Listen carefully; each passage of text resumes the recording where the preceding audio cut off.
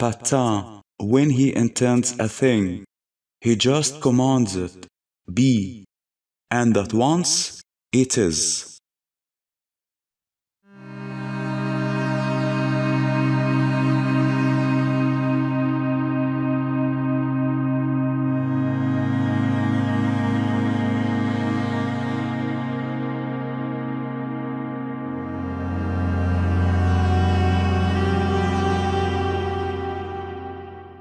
The God who created the world by his word.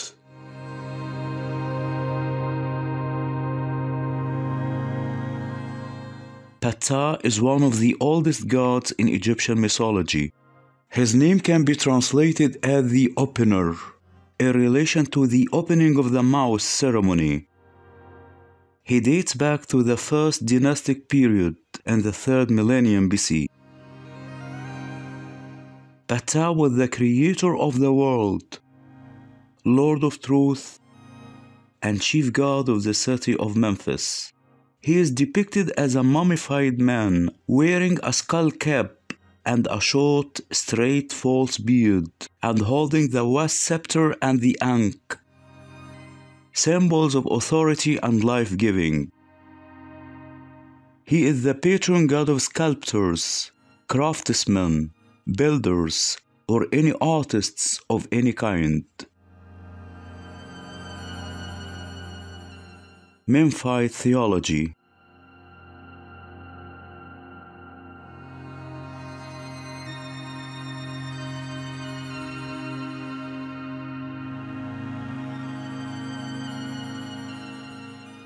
Memphite theology can be defined as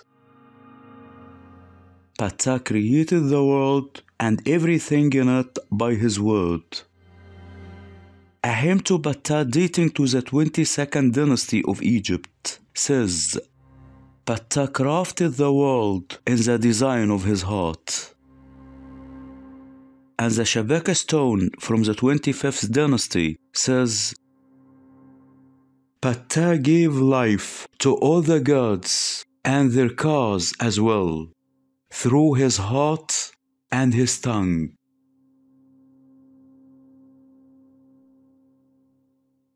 Unlike most Egyptian creator gods, Ptah himself is uncreated, having existed before anyone or anything.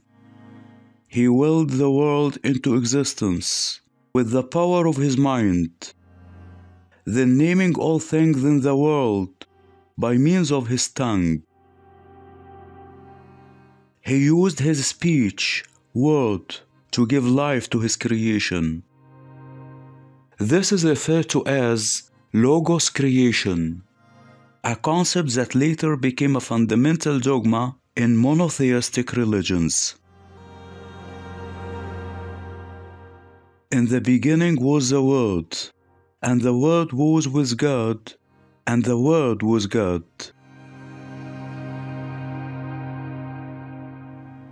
His command when he intends anything is only to say to it, Be, so it is.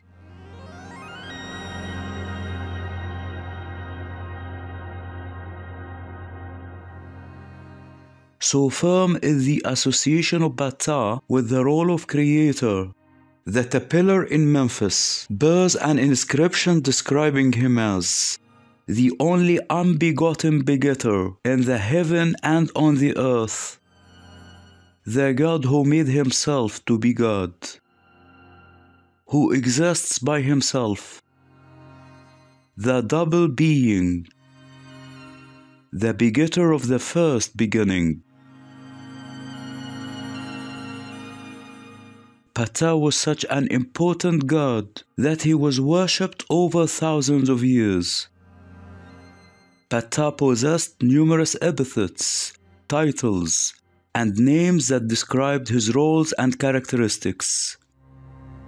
So high were the praises of this ancient Egyptian god that 19th century historians were tempted to liken him to the Christian God. Ptah is variously described as the creator in heaven and earth who has made all things, the Lord of all that is and is not, the Father of the Son God, Lord of truth, Father of the fathers of gods, the King of both worlds, the God of light which shows everything in its true form, the ruler of the sky, the beautiful face, master of justice, master of ceremonies, Lord of eternity, he who listens to prayers. Ptah was one of the central gods of the Memphite pantheon. In addition to his temple in Memphis, he was also worshipped in Upper Egypt, Egyptian Nubia, and in urban areas throughout the country, most often in areas inhabited by craftspeople and artisans.